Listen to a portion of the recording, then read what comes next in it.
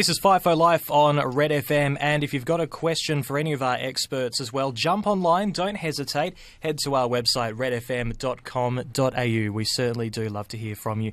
Also joined right now by Chesswork Group CEO Alex Anderson. Good morning, welcome back. Good morning, how are you? Good, thanks. Uh, one of the most common questions coming through at redfm.com.au, they want to know about budgeting and debt consolidation, how that affects them.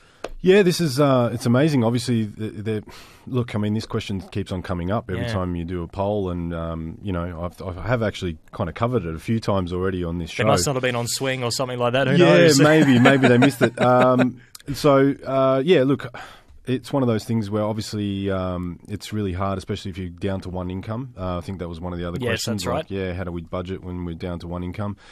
There is no short, easy, hard and fast way out of this. You really just got to work out where is all your money going. So you have to have to go through your budget, right? That's just number one. It's and it's common sense, but you know it's something that you really got to look at all your expenses over the over the month, and go, okay, well, what can I cut out?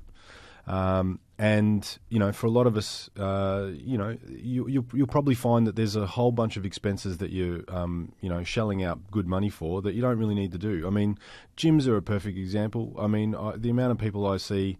Uh, not to put too fine a point on it, they don't look like they go through the gym all that often, um, but they're spending, you know, uh, fifteen hundred. they've got that locked in membership, yeah. And they're oh they're killers. Those uh, you know it's like oh I want to cancel my membership. Well yeah, just send a carrier pigeon. You know um, via smoke signal, we might be able to work something out within forty eight you know weeks. It's it's ridiculous. Yeah. They really do lock you in. Um, but yeah, gyms are one. Um, obviously, you know when you're looking at entertainment, I think I did mention it before. You know, you got to, you know, even just switching from UDL cans to you know mix, you know, mixers to actually getting a bottle or something and mixing it if you like to drink. If Do you really need to have that Foxtel if you're not there all the time? Foxtel is a, you know, look, the, the days of Foxtel. I mean, I don't even understand why anyone gets it anymore. I mean, really, you be, you're better off if you're going to do like a pay per view. I think we got the McGregor fight on. You know, I'm, I'm going to be watching it. You know. yes, it's going to be very busy. But let's put it this way: I, rather than pay, you know, hundred plus dollars a month for Foxtel, um, you know, I'm going to go to a local pub and watch uh, McGregor. Well, possibly get his ass whipped, really. But um, having said that, you know, like you've got to get out there and, and, and just look at what, what it is that you're you're spending money on. And Fo- Foxtel's a perfect example, especially if you go, well, I like entertainment. Well, get on the Netflix. It's eleven dollars a month or something, you know, or Yeah. or some of the other competitors. I don't want to be here in, endorsing other institutions, but having said that, um, Something to keep in mind. yeah, something to keep in mind, and you know, uh, and I know it is hard, especially if you know you're down to one income. It can be, it can be tough. So yeah, uh, the the short answer is there is no hard and fast rule, but. Um, look, I mean, it's something we definitely help all our clients with. It's Sure. the first port of call is we go through go through your budget. What are you spending? How can we tighten up? Uh, Kimberly Bishop also sent us an email at redfm.com.au. She wanted to know the, the difference, I guess, between negative gearing and positive gearing. What are the benefits? What are the, the negatives of both? Yeah, this is a fantastic question, and I suppose it's really applicable to people in the FIFO. Everyone's paying exorbitant amounts of tax, and so to get a negatively geared investment, um, you know, if it's sold in a certain way to them, they go, "What you're saying? I can get this much back on tax and all the rest." The short answer is, if you're going to get that money back on tax, it means that you've actually made a loss all the way through the year. That's that's really the long and the short of it.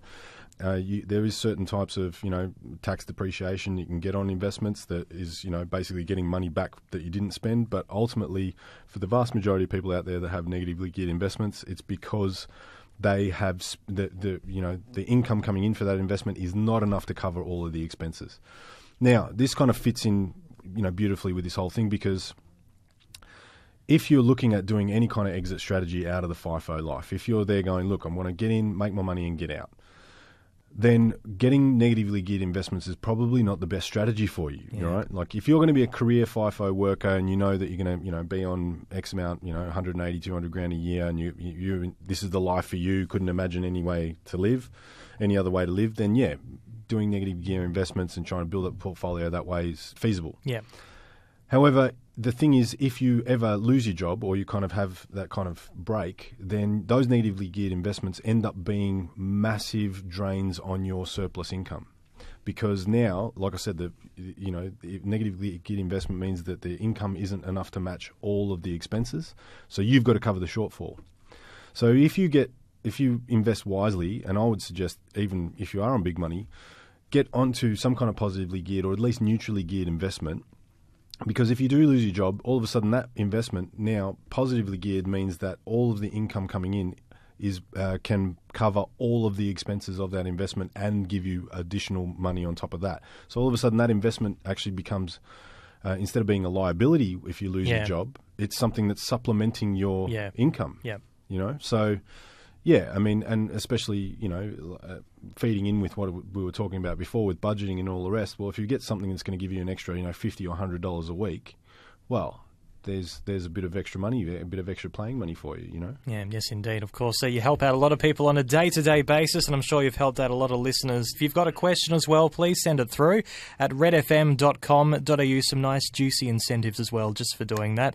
You've got a few ebooks as well, also online at Chesswork Group's official website. I do, yeah. It's uh, really easy. Get on the website, it's chessworkgroup.com.au. Uh, down, you know, put in your details. You can download our ebooks, um, give you some valuable tips. Uh, otherwise, feel free to give us a call on 1300 295 138. Alex Anderson, the CEO of Chesswork Group, it is always a pleasure. Thank you very much for joining us. Thank you so much for having me.